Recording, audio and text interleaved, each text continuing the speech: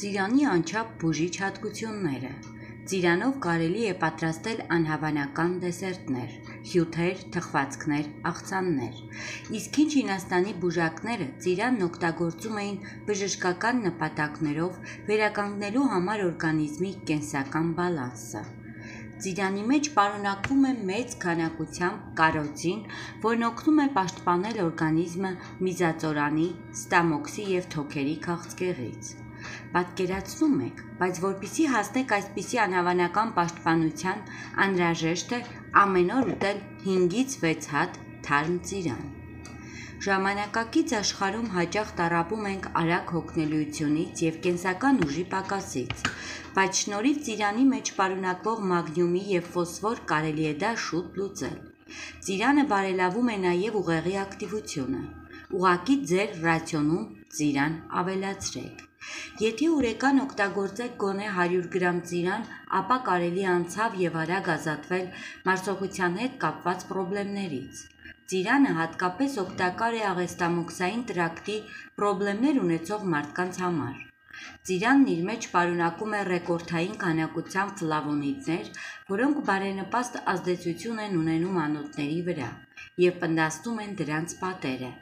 Ծիրան խորհուրդ է տրվում օգտագործել այն մարդկանց, ովքեր ունեն երակների վարիկոզային լայնացում։ Ծիրանը հանդիսանում է նաև գերազանց կոսմետիկ միջոց։ Ծիրանից պատրաստված դիմակն օգնում է թարմացնել մաշկը և հարստացնել այն վիտամիններով և միկրոէլեմենտներով։ Ծիրանը շատ արդյունավետ հակամիկրոբային միջոց է։ Դրա համար ինֆեկցիոն հիվանդության առաջին իսկ նախանշանների դեպքում անհրաժեշտ է ծիրանի հյութ օգտագործել։ Ծիրանը կալիումի պարունակությամբ ռեկորդակիր է, դրա համար էլ այն անհրաժեշտ է մարդկանց համար, ովքեր ունեն սրտանոթային խնդիրներ։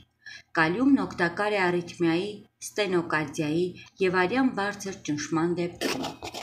Բուժիչ հատկություններ ունեն ոչ միայն ծիրանենու ծաղիկը, պտուղը, սերմը, խեժը, այլ նաև ծառի էներգետիկ դաշտը։ Ազդեցությունը նման է կաղնու կամ հաճարենու։ Խորհուրդ է տրվում մինչև ծիրանենուն մոտենալը պարպել օրվա ընթացքում կուտակված բացասական էներգիան կամ կաղմախու, նույն ինքը դողդոջուն բարդու մոտ։ Շնորհակալ ծիրանենին կհաղորդի ձեզ դրական էներգիա, կբազմապատկի ֆիզիկական և հոգևոր ուժերը։ Ծիրանենու էներգետիկ դաշտը գերիշխող է և ուժեղ, իսկ ծառի նուրբ բուրմունքը ունի բարերար ազդեցություն թոքերի և չնչուղիների վրա։ Առաջին հայացքից թվում է, թե ծիրանի պտղի քիմիական բաղադրությունը և օգտակար հատկությունները վաղուց ի վեր հայտնի են։ Սակայն ուսումնասիրությունները շարունակվում են և ի հայտ են գալիս նոր բացահայտումներ։ Ծիրանենու հայաստանյան տեսակներից առավել հարգի է շալախ տեսակը, որի պտղի լուսավոր կողմը ունի վարդագույն երանգ, երբեմն մեկ պտղի վրա ի հայտ են գալիս կարմիր կապտականաչավուն դեղնավուն երանգներ։ Պարունակում է մոտ 11,3% շաքար, հիմնականում սախարոզա և 63% օրգանական թթուներ՝ կիտրոնի գինու, սալիցի, զուրանբուխճուտ տոկոս նուրբ բջիջանք օսլա, ինուլին։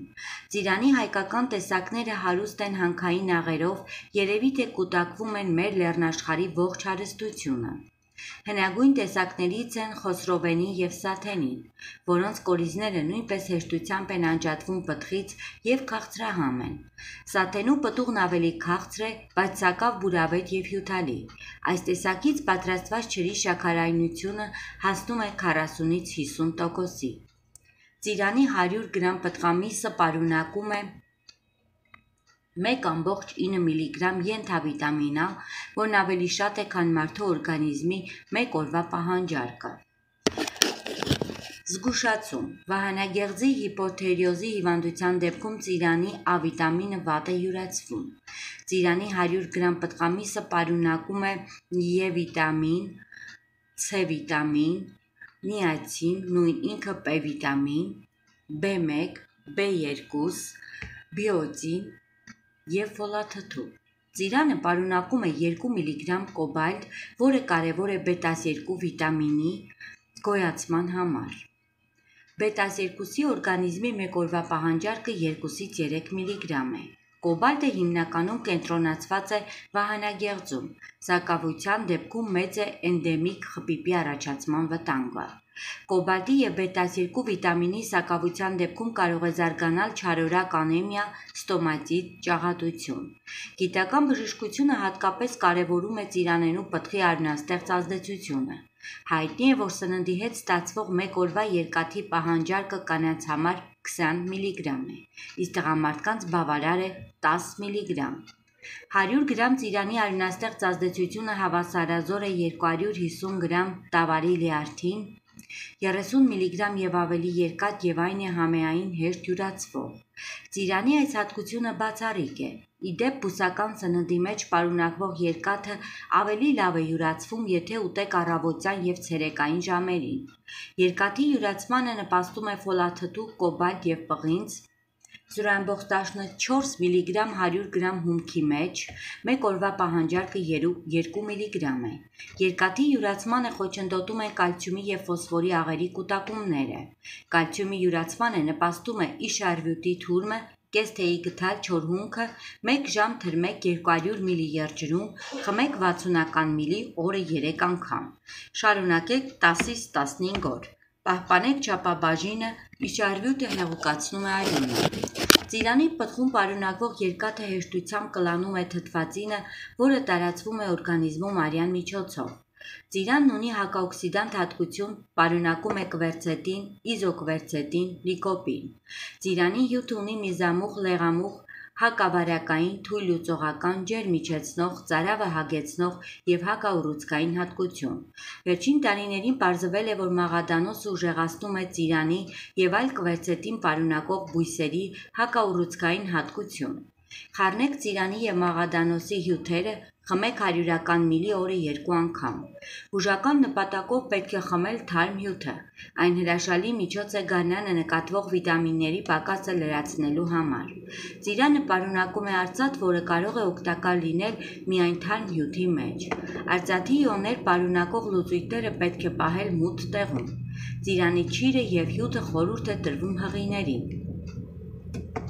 100 գրամ պտղամիսը պարունակում է 305 մգ կալիում, մեկ օրվա պահանջարկը 1.5-ից 2 գրամ է և 25 մգ նատրիում։ Սրտանոթային համակարգի եւ երիկամների հիվանդությունների համար խմեք 100-ական մլի ծիրանի հյութ օրը 3-ից 4 անգամ։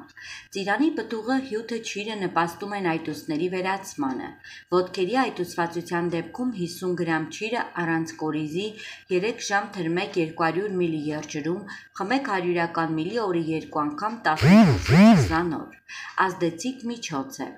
Արիթմիայի համար կերեք 1-ից 2 պտուղ օրը 3-ից 4 անգամ կամ խմեք ջրի թուրմը։ Ծիրանը պարունակում է յոդ, որը լիովին պահպանվում է ջրի մեջ։ 75 մգ 100 գրամ հումքի մեջ այս քանակը համապատասխանում է մարդու օրգանիզմի մեկ օրվա պահանջարկի կեսին։ Յոդը, ինչպես նաև կալիումը, պղինձը, կոբալտը անհրաժեշտ են վահանագեղձի նորմալ կենսագործունեության համար։ Շատ մասնագետներ գտնում են, որ սա մեր երիտասարդությունը պահպանող օրգան է։ Ծիրանի մեջ պարունակվող բջանջը կլանում է, հեռացնում է օրգանիզմից թույները ինուլինը նպաստում է աղիների օգտակար միկրոֆլորայի զարգացմանը։ Թարմ ծիրանը եւ ճիրը կանխարգելում են դիսբակտերիոզի զարգացումը։ Պտղամսում պարունակվող ռուտինը ուժեղացնում է C վիտամինի օգտակար ազդեցությունը, այս երկու նյութերի բարենպաստ փոխհարաբերակցությունը կարգավորում է խոլեստերինի մակարդակը, ամրացնում է անոթների պատերը, լավացնում է հիշողությունը, կանխարգելում է աթերոսկլերոզի առաջացումը։ Ծիրանը ունի հիպոթենզիվ հատկություն։ Ժամանակակից բժշկությունը խորհուրդ է տալիս խմել ծիրանի հյութ եւ ջրի եփուկ դաշտանադադարի շրջանում։ Շագանակագեղձի բորբոքման եւ ադենոմայի օրգանիզմի հյուծվածության, հիպերտոնիայի, դիսբակտերիոզի անեմիայի դեպքում։ Ծիրանը կանխարգելում է լյարդի ճարպակալումը եւ վերականգնում բջիջները։ Նիհարեցնող Մանրացրեք կամ աղացեք 300 գրամ ճիր, դցրեք 500 գրամ բլենդերով հարած ծիրանի մեջ, պահեք հով մոտ մութ տեղում։ Կերեք 200 գրամ օրը 4 անգամ, ուրիշ ոչինչ չուտեք։ Կատարեք շաբաթը մեկ անգամ 300 գրամ ջրի էներգետիկ արժեքը մոտ 900 կկալ է։ իսկ թարմ ծիրանները 230 կկալ է։ Նման բեռնաթափման ռեժիմը չի առաջացնում սթրեսային վիճակ, քանի որ ճիրը եւ հյութը պարունակում են բավարար քանակի օգտակար նյութեր։ Երկարակյացների ցեղախումբը մոտ 50 տարի առաջ Հիմալայներում ծովի մակերեսից 4000 մետր բարձրության վրա հայտնաբերել են մարդիկ, որոնց ծննդակարգի հիմնական մասը բաղկացած է ծիրանենու տված բարիքներից։ Ցեղախմբի կյանքի միջին տևողությունը 90-ից 100 տարի է եւ ավելի։ Այստեղ անծանոթ են ժամանակակից մարդկության կյանքի տևողությունը կրճատող հիվանդություններին։ Կարծես ինքը բնությունը կատարել է մի գիտափորձ, որը շատ բան է մեզ հուշում։ Հավանաբար ծիրանենու ծառի տված բարիքներում օպտիմալ ձևով բալանսավորված են մարդու անհրաժեշտ նյութերը։